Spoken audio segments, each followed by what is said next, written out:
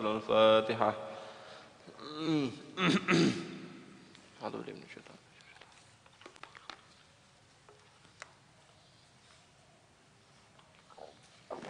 الموضوع أيوة بسم الله الرحمن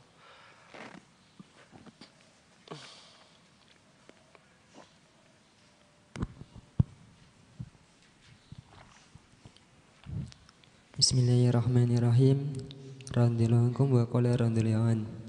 Ustamastahid an tuftira ala ta'amin halalin wa la tatas wa la tastakthir fatazidu ala ma taquluhu kulla lailatin. Fala farqa idza stawfaita ma tatadu an taqulahu daf'ataini fi daf'atin wahidatin.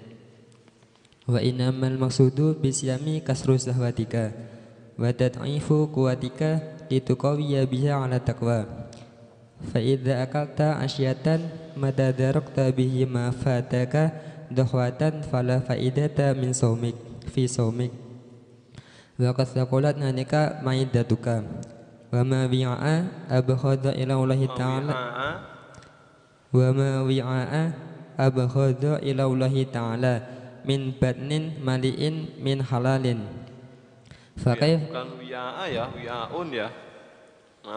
wala wi'aun. wa ma wi'aun abghada ila Allah ta'ala min batnin maliin. Bukan abghadu. Ila Allah ta'ala min batnin maliin min halalin. Fa kaifa idza mulia min haramin? Fa idza arafta makna sawmi fastakthir minhu mastata'ta. Fa innahu asasul ibadati wa miftahul qurbat. Qala Rasulullah sallallahu alaihi wasallam qala Allah ta'ala kullu hasanatin bingasri amsalihha ila sami mi'ati dhifin ila sawma. Fa innahu wa ana ajazi bihi. Qala sallallahu alaihi wasallam waladi nafsi biyadihi la khulufu famis saimi adyabu indallahi min rihil misik. Yaqulu ta'ala azza min qail innama yadaru innama yadaru syahwatahu wa ta'amahu wa syarabahu min ajali. Fasawmu li wa ana ajazi bihi. Qala sallallahu alaihi wasallam il jannati babun yuqalu lahu ar-rayyan la yadkhuluhu ila shaimun fahadzal qadru min sarhi ta'ati yakfika min bidayatil hidayah. Faidah tasda ila zakati wal haji au ila fatlubhu mimma auratnahu fi kitabina iya ulumuddin. Bismillahirrahmanirrahim. Alhamdulillah rabbil alamin wassalatu wassalamu ala sayyidil mursalin sayyidina wa habibina wa qurrati ayunina wa maulana Muhammadin wa ala alihi wa sahbihi wa barik wa sallim ajma'in. Awalnya ta'lim wa ta'allum wal ifadah wa istifadah wal nafa wal intifa والحث على تمسكي بكتاب الله سنة رسوله صلى الله عليه وسلم. دلالة إلى الهدى ابتغاء وجه وقربه ورضاه سبحانه وتعالى.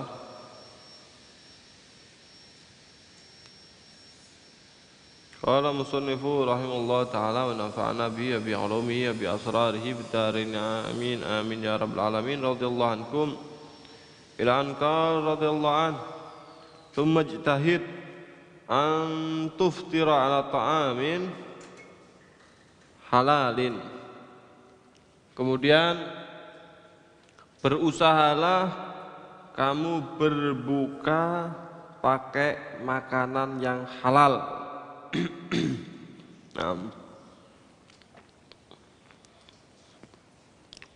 Wala tas takdir dan jangan kamu perbanyak makanan. Walaupun walaupun makanan tersebut adalah halal. gitu ya. Ketika berbuka, upayakan dan usahakan untuk tidak berbuka kecuali pakai makanan yang halal. Dan jangan banyak-banyak kalau makan, walaupun makanan yang halal. Gitu. Fatazidu alama ta'kuluhu kullal lailatin maka kemudian melebihi apa yang kamu makan setiap malam itu daripada hari-hari biasanya. Fala farqa idza stawaita ma ta'tadu an taqulahu daf'atain fi daf'atin wahidatin. Maka tidak ada bedanya kalau sama apa yang kamu biasakan makan dua kali, kamu makan cuma satu kali. Ya podo ae. Maksudnya begini, kamu biasanya makan sehari berapa kali? Dua kali misalkan. Terus banyaknya berapa? Dua roti. Kalau di sana pakai roti. Kalau di sini dua piring, gitu kan ya? Ya. Ternyata ternyata kalau kamu puasa bukanya kamu itu dua piring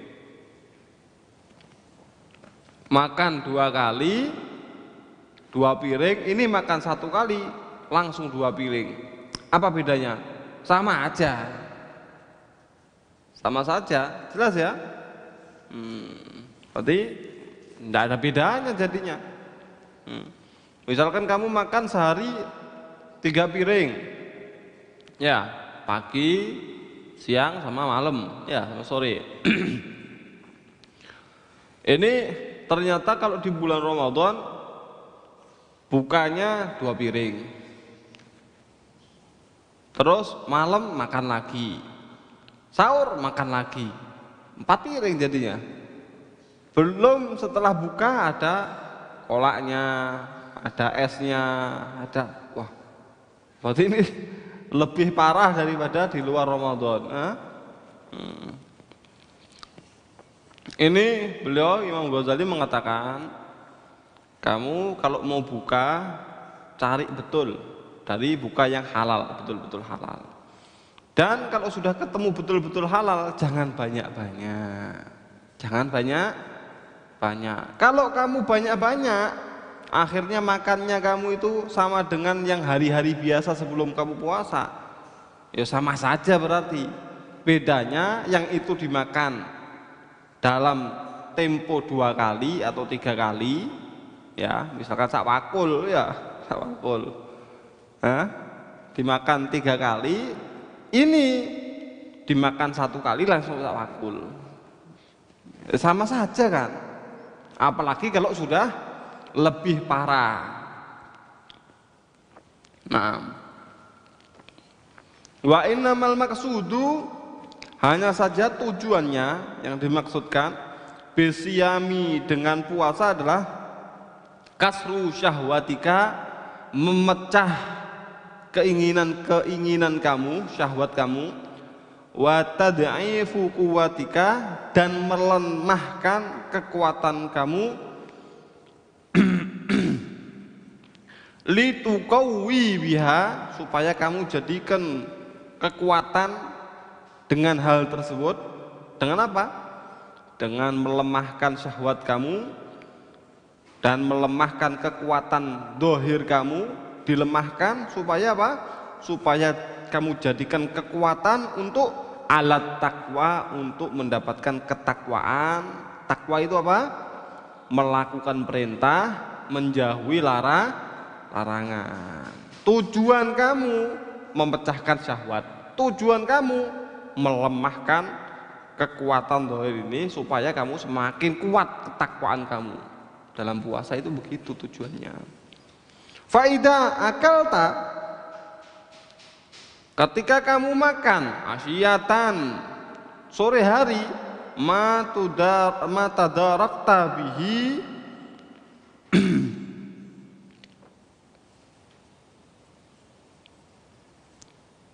apa ini Fataka gitu ya. Oke. Gimana itu? Oke. Fa uh, Faida akal ta'asyatan kalau kamu makan di siang hari ma tadarak tabihi apa yang kamu ketemukan ma fataka dohwatan apa yang telah terlewatkan kamu di pagi hari ya fala faidata fi saumika maka ndak ada faedah dari puasa kamu paham maksudnya?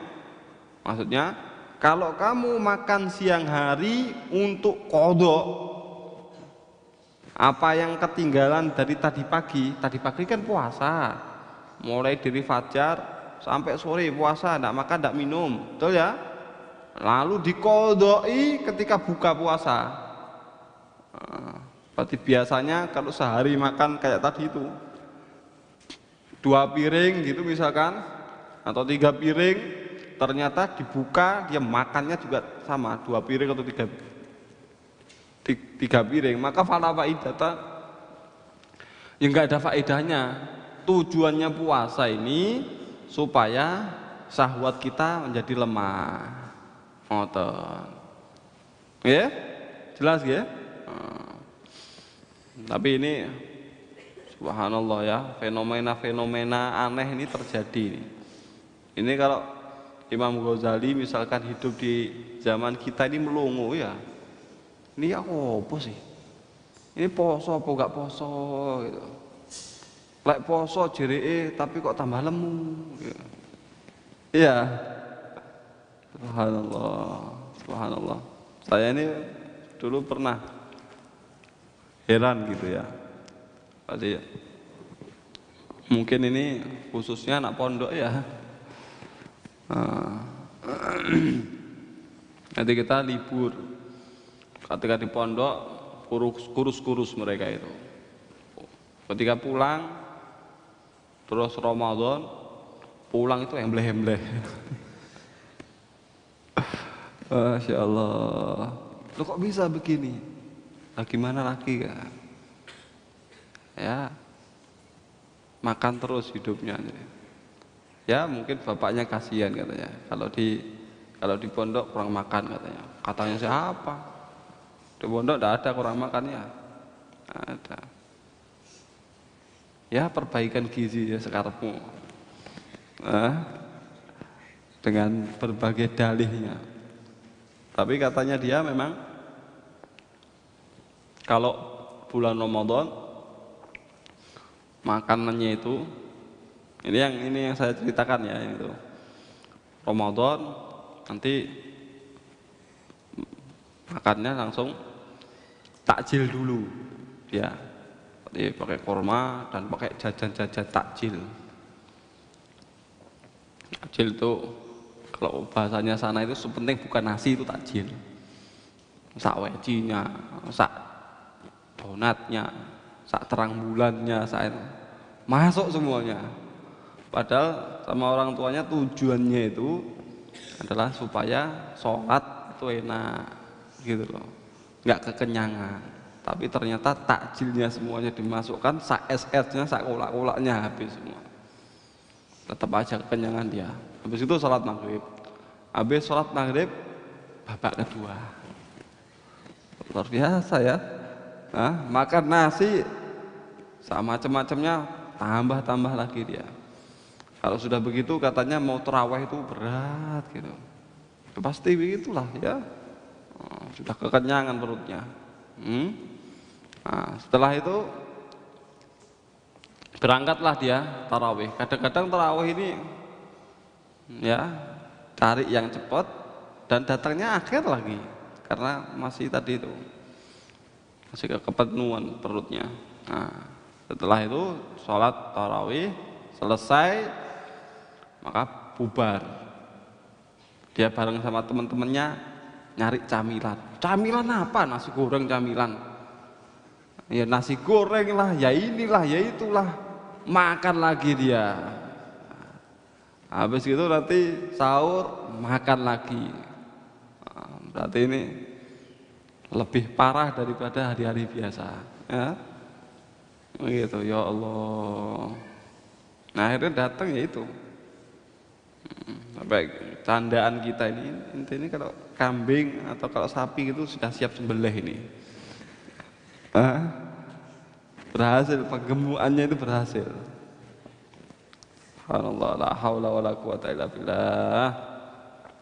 Nah, padahal tujuannya adalah tidak begitu. Kalau ternyata porsi kamu yang dua kali, tiga kali makan itu kamu jadikan satu, satu kali langsung dimasukkan semua sama saja berarti. Ya sama saja ya, Hmm, sama saja. Yang seharusnya makannya itu pagi tadi sama sore ternyata pagi tadi dikodoi di sore hari, ya sama saja. Hah? Apalagi kalau masih ada yang lain-lainnya tadi, wah luar biasa berarti ini. Hmm. Nah, kemudian wakat sakulat alaika ma'iddatuk. Kalau ternyata uh, yang makanan pagi kamu kodoi di siang hari, uh, maka tidak ada faedah di puasa kamu dan perut kamu wakat takulat dan benar-benar berat alaika atas kamu maidatuka perut kamu. Ya, perut kamu berat sekali. Ya, kayak tadi itu. Wa mawi'aun. Kalau dalam redaksi lagi eh, dalam redaksi yang lain wa ma min wi'ain gitu ya.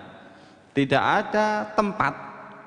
Abghadu ya yang lebih dimurkai oleh ilallahi oleh Allah kepada Allah taala min bad'in maliin min halal daripada perut yang penuh dari sesuatu yang halal. Halal ya bukan haram. Halal tapi penuh gitu. Itu adalah tempat yang paling jelek. Tempat yang paling dibenci oleh Allah.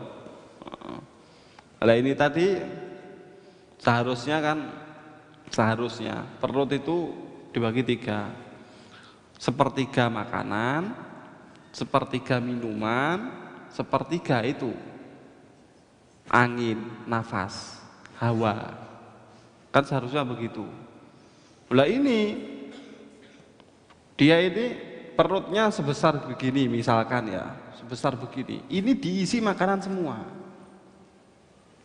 Hah? Loh ini gimana ini? Nanti airnya bagaimana? Minumannya? Oh gampang, nanti diminumkan nyari jalan sendiri. Hah? Nanti diminumi itu air itu bisa nyari sendiri, cari celah-celahnya. Aman pokoknya. Loh udaranya? Udaranya nanti aja. Kalau sudah ini keluar nanti ganti udara. Bisa jawab, ya Subhanallah. Subhanallah. Ya. Oke. Nanti sudah repot kalau sudah seperti itu repot. Ya. Fa kaifa idza mali'a min haram maka bagaimana kalau ternyata penuh bukan dari halal tapi penuh dari yang haram atau dari yang subhat Hmm. Kalau penuh dari sesuatu yang halal itu adalah menjadi tempat yang paling dibenci oleh Allah, bagaimana kalau penuh dari yang subhat atau dari yang haram, lebih parah lagi. Jelas gak ya? Nah. kalau kalau Nabi Muhammad SAW itu menganjurkan kepada kita bagaimana makan itu kalau sudah lapar. Dan sebelum kekenyangan, sebelum kenyang betul, itu sudah berhenti. Dan itu ternyata yang terbaik. Dan itu memang ternyata yang terbaik. Pernah saya baca buku ya, nah, itu ada pengumuman dari raja, di, dari raja suatu daerah begitu, ya kan? Nah, itu mengumumkan kepada seluruh dokter di area kekuasaannya. Ayo siapa yang bisa ngasih obat yang terbaik maka dapat hadiah. Oh maka para dokter itu ngasih berbagai obatnya. Dokter zaman dulu ya.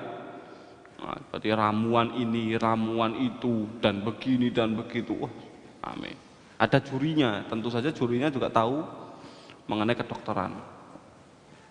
Sampai datanglah seseorang yang lainnya itu dengan alat-alat dan dengan perabotan dan dengan obat-obatan yang banyak satu orang ini tidak bawa apa-apa.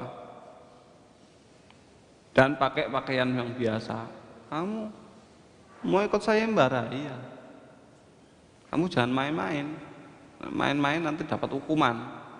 Ini yang lainnya kayak begitu. Akhirnya setuju dia. Kalau main-main gak masuk akal dapat hukuman Ya, karena ini resmi dari kerajaan.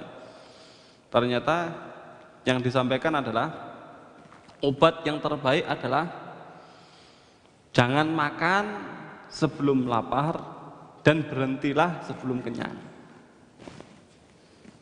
Itu obat terbaik. Maka orang-orang terdiam. Kemudian berdiskusi. Dan ternyata semua sepakat Tadi ini ada obat ini, ada obat ini, anti nyeri, anti flu, anti sakit perut, anti ini, anti ini, semuanya setuju. Iya ini obat yang terbaik ini. Ini tidak obat ini, tidak pakai minum apa, minum apa, tapi itu adalah obat yang terbaik. Apa itu tadi? Tidak makan sebelum lapar dan sebelum kenyang, sebelum kekenyangan sudah sudah ber, berhenti. Itu adalah obat yang terbaik. Oh, luar biasa. Ya, enak ya. Dia tidak bawa apa-apa. Cuman bawa omong tok. Omong, sul, gini gini gini. Betul. Semuanya setuju. Dia yang dapat hadiah. Subhanallah. Ya. Nah, itu adalah ternyata ternyata resep dari Nabi Muhammad SAW. Nah, maka santri itu juga harus begitu seharusnya apa pun yang datang dari Nabi Muhammad SAW harus kita praktekkan, harus kita pegangi, seharusnya begitu. Hmm. Kalau dulu, dulu ini, kalau sekarang tidak boleh. Kalau dulu santri juga bilang begitu, iya saya tidak pernah kenyang, tapi saya kekenyangan. Tidak pernah kenyang sama sekali tidak pernah, kekenyangan selalu, gitu. Tapi tidak itu itu dulu. Sekarang kalau sekarang tidak ada. Kalau sekarang semuanya multazim bi sunnah Nabi Muhammad sallallahu alaihi wasallam. Gitu ya insyaallah ya. Um. Faida arafta kalau kamu tahu makna saum makna saumi makna daripada puasa ini maka bagaimana fastakthir minhu maka perbanyaklah dari makna saum ini mastata'ata dari apa yang kamu bisa Fa'innahu karena sesungguhnya puasa ini adalah asasul ibadat adalah pondasinya ibadah. Puasa ini adalah pondasinya ibadah. Wa miftahul kurubat dan juga puasa ini adalah pembuka daripada pendekatan diri kepada Allah Subhanahu wa taala. Nah, sebagaimana ini sabda Rasulullah sallallahu alaihi wasallam likulli syai'in babun wababul ibadati saum.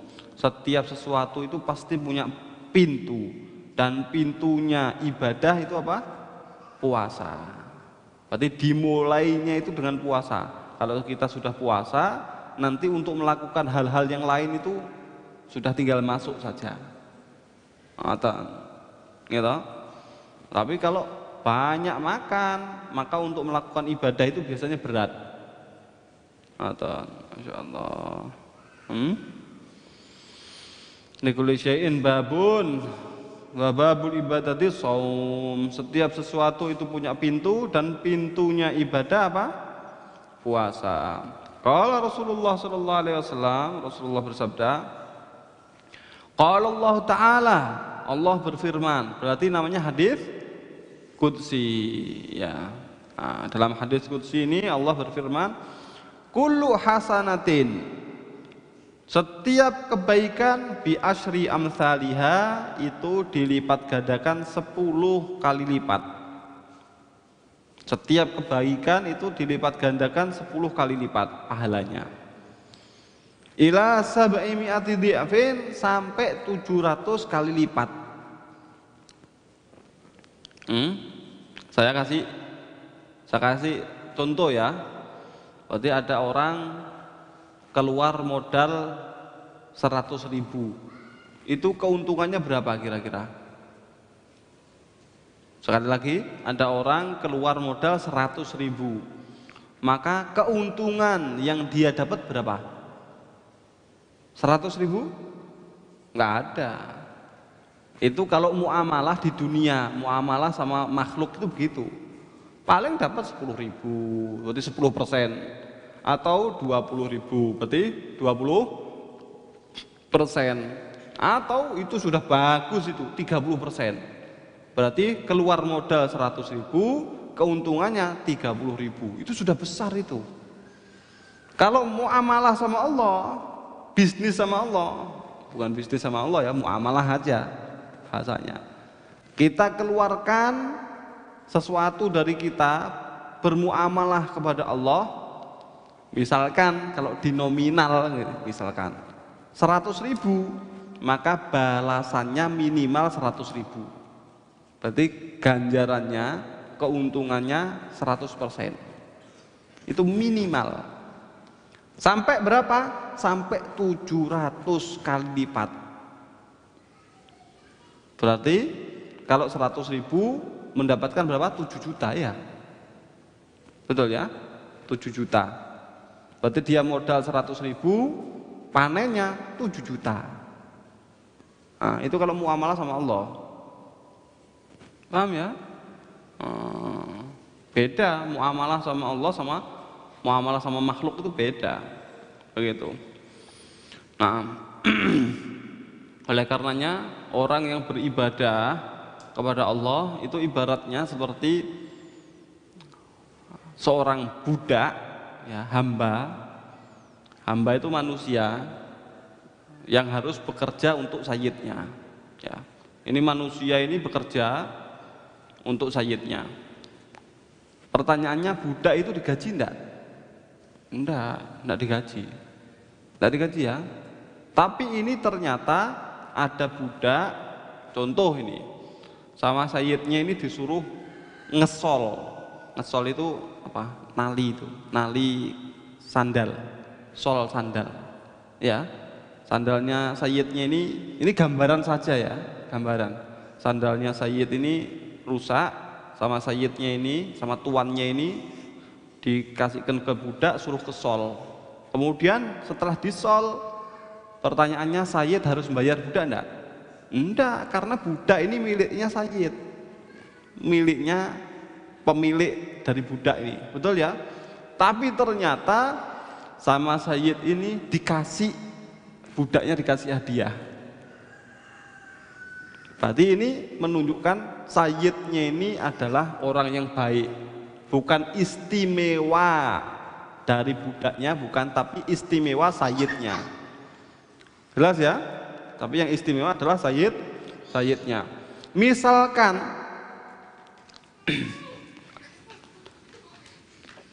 misalkan biaya sol itu 10 ribu ternyata sama sayyidnya ini budak bukan dikasih 10 ribu tapi dikasih satu juta misalkan. Apakah ini budak pantas mendapatkan hal tersebut?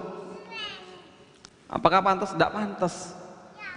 Cuman sayyidnya ini tuannya ini yang sangat dermawan dan sangat baik bisa dipahami ini adalah gambaran Allah Subhanahu wa taala kepada hamba-hamba yaitu para manusia Manusia ini miliknya Allah yang dia pakai dan semuanya adalah miliknya Allah.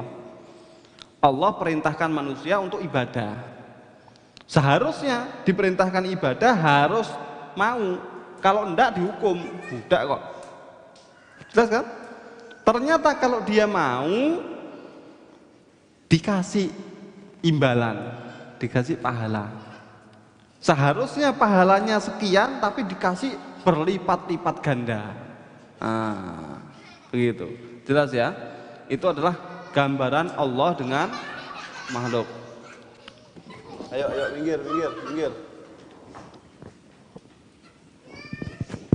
Ya, jelas ya? Berarti itu adalah gambaran Allah dengan hamba, dengan manusia. Nah. Oleh karenanya ada pernah suatu ketika ini di Inat sana Di Inat ini kotanya Syekh Bakar bin Salim ya. Di Hadramut sana. Ini ada orang waktu itu memang pacekli. Berarti sulit barang-barang.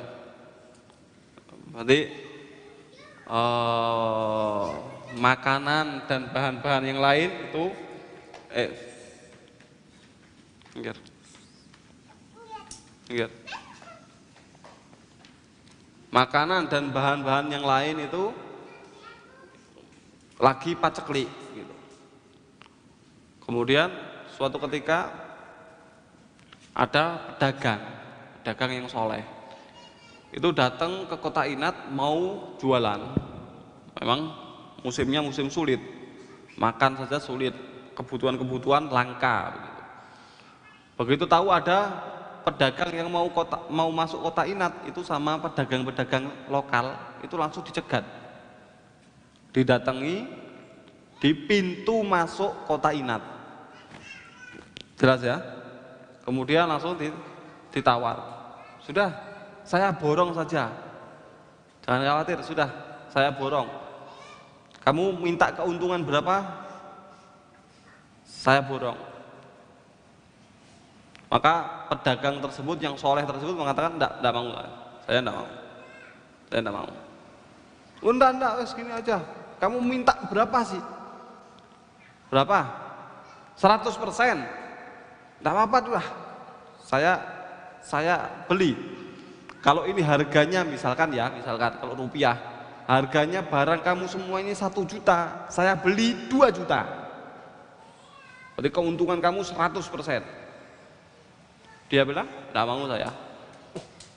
Ini parah ini sudah ini. Keuntungan 100%.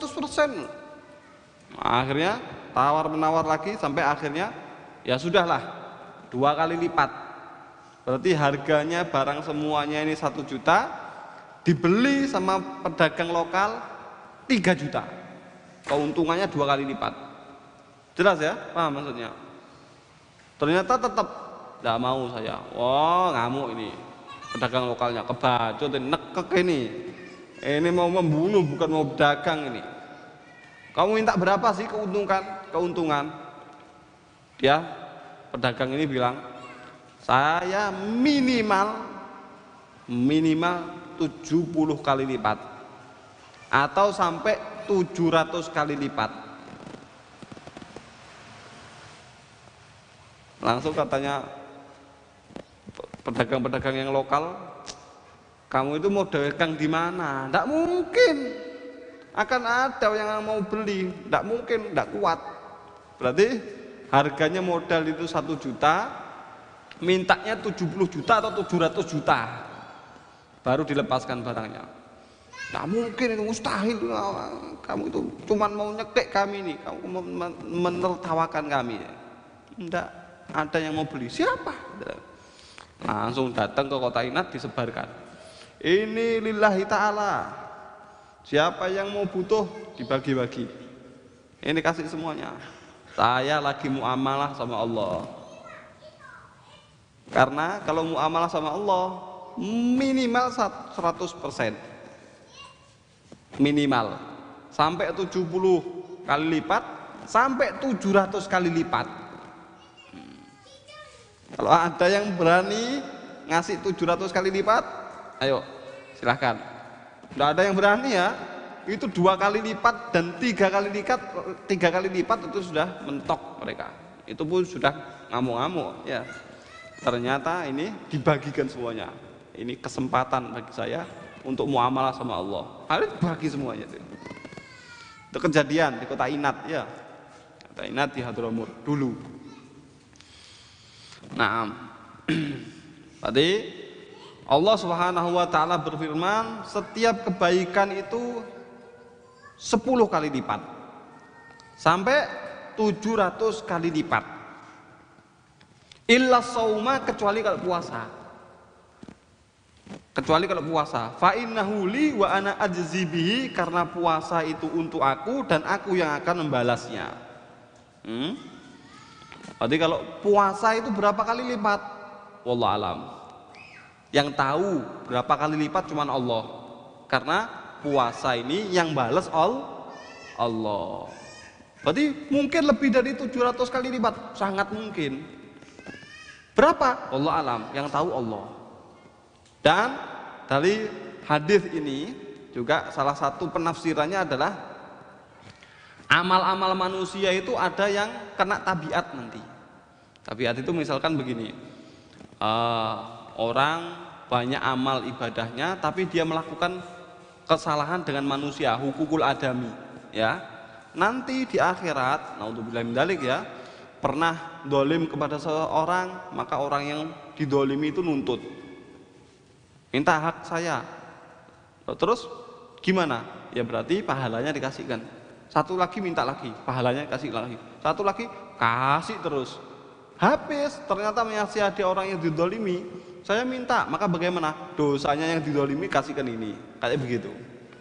Yang tidak bisa diambil ini pahala puasa. Kalau pahala puasa itu untukku, untuk Allah Subhanahu wa taala dan aku yang balas. Dan karena yang balas Allah tidak bisa diambil. Ah?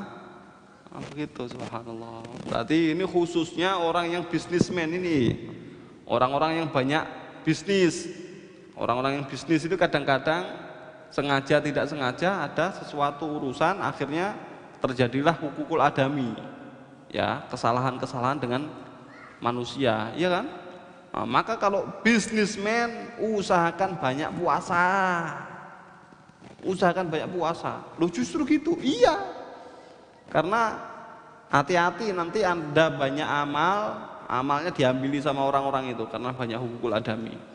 Kalau ternyata pahalanya Anda sudah habis, pahalanya eh, dosanya orang-orang yang punya Anda punya salah sama mereka, dosanya itu Anda ambil. Nauzubillah min dalik. Maka harus banyak puasa. Biar pahala puasa tersebut yang Anda miliki tidak bisa diambil oleh orang. Jelas ya? Masya Allah.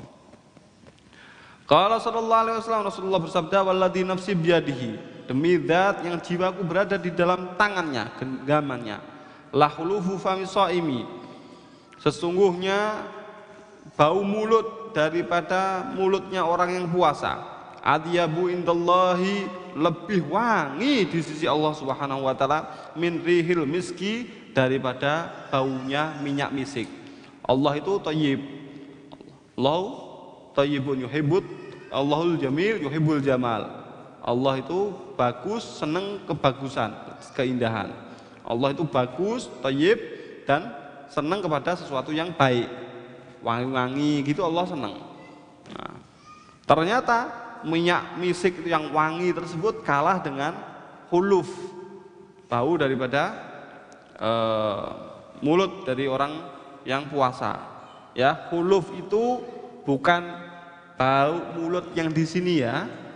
Tapi huluf itu adalah bau mulut yang berasal dari lambung. Jelas. Anda tahu tempat sampah ya. Tempat sampah di dalamnya ada sampah, tapi ditutup. Maka tercium bau sampahnya enggak? Tidak. Tidak keciuman kan? Nanti kalau dibuka baru. Nah, seperti itu juga perut kita ini dalamnya makanan-makanan basi. Ya pasti basi lah. Nasi goreng kemarin. Ya. Kemudian minuman-minuman juga sudah kemarin dan campur semuanya. Ya, kemarin ya. Semuanya campur semuanya. Maka busuk semua ini di perut ini. Nah, ternyata puasa tidak makan seharian. Biasanya sampai duhur itu ini jalur yang di atas ini sudah kosong. Berarti buka. Berarti ibaratnya kalau tong sampah itu kebuka. Ini sampahnya di sini, ini jalur ke sini ini buka semuanya. Maka kalau ngomong nah, ada sampah baunya sampah yang di dalam ini keluar. Itu namanya huluf. Itu namanya hu, huluf. Jelas? Hmm, itu namanya huluf. Nah, berarti hulufnya orang yang puasa itu lebih disenangi oleh Allah daripada baunya misik. Yaqulullah taala azza min qail. Allah berfirman innama yadarul innama yadaru syahwatahu wa ta'amahu wa syarabahu min ajli. Dia ini meninggalkan kesenangannya meninggalkan makanannya meninggalkan minumannya karena aku.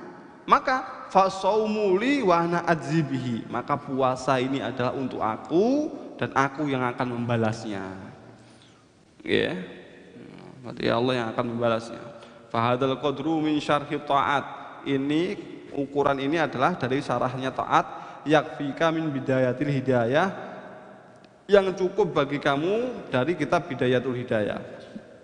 Faidah tajta faidah tajta ila zakati wal haji wal haji au ila mazidin di syarhi salati wassiyam fadlubhu mimma auratnahu fi kitabina ihya ulumuddin kalau kamu masih butuh untuk tambahan yaitu bab zakat, bab haji atau mengenai penjelasan tambahan daripada sholat atau puasa maka carilah dari apa yang sudah saya sampaikan di dalam kitab saya namanya kitab Ihya Ulumuddin. Di sana disebutkan lengkap.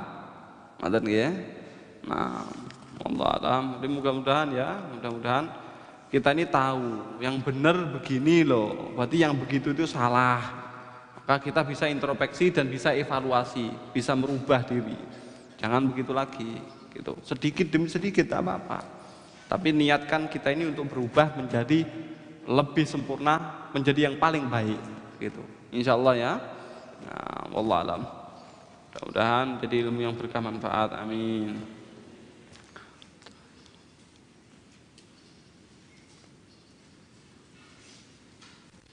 Hadratin Nabi Muhammad SAW Fatihah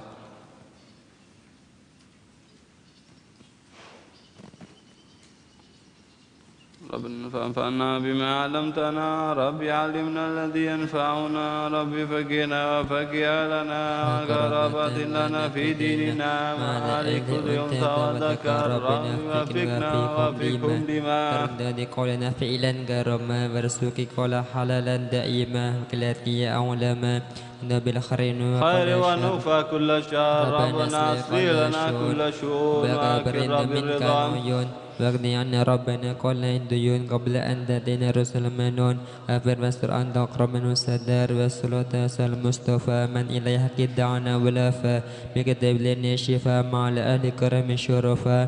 على صحبه الغرار اللهم اهدنا بهداك واجعلنا مسير بريدا ولا تمليني سواك ولا تجمع خلق أمرك فاصلح حسبنا ولا نعم الوكيل ولا حول ولا قوة إلا بالله العظيم. صلى الله على سيدنا محمد وعلى آله وصحبه وسلم. يا ربنا اعترفنا بأننا استرمنا وأننا أسربنا على لد أسربنا فدب علينا دباد لكل هب أستر لنا عراد وأمن رعاد. أفر لوالدنا ربي ومولودنا والآل والإخوان وسائر الخلان. وقلد محبا أجرد أصبا والمسلمين أجمع من رب أزماء لن مجودا منال بكساب منا المصطفى رسولنا ذا بكل سولي صلى وسلم ربي عليه عند الهبي وآله وصحبه عدد السوبي والحمد لله بالبدء التناهي بسم الله الرحمن الرحيم. اللهم يا دائما فضل على برية يا بسيط اليدين بالعدية يا صعيب العيب بسنية صل على سيدنا محمد خير الورسجية واغفر لنا يا دولة في هذه العشية. اللهم يا دائما فضل على برية يا بسيط اليدين بالعدية. يا صعيب العيب بسنية صل على سيدنا محمد خير الورسجية واغفر لنا يا دولة في هذه العشية. اللهم يا دائما فضل على برية يا بسيط الذين بالعدية يا صعيب العيب سنية صلي على جنا محمد خير الورسجية اغفر لنا يا دولة في هذه العشية. اللهم يا دائما فضل على برية يا بسيط الذين بالعدية يا صعيب العيب سنية صلي على جنا محمد خير الورسجية اغفر لنا يا دولة في هذه العشية. يا دائما فضل على برية يا بسيط اليدين بالعادية يا صعيب العبسانية صل على جل محمد خير الورسجية اغفر لنا يا دعنا في يد العاسية اللهم يا دائما فضل على برية يا بسيط اليدين بالعادية يا صعيب العبسانية صل على جل محمد خير الورسجية واغفر لنا يا دعنا في يد العاسية اللهم يا دائما فضل على برية يا بسيط اليدين بالعادية يا صاحب العبسانية الوصية صنيعنا زنا محمد خير الرسلية أبر لنا يا دولة في دراسية اللهم يا دائما فني على برية. يا بسند اليدين بالعدية. يا صعيب العيب سنية صنيعنا زنا محمد خير الرسلية أبر لنا يا دولة في دراسية اللهم يا دائما فني على برية. يا بسند اليدين بالعدية. لجنا محمد هر المرسجية وافر لنا يد أولى في يد العسية أملا أم يد إيمان فدي على برية. يبشد اليدين بالعدية يا صيب العيب سنية. سني لجنا محمد خير المرسجية وافر لنا يد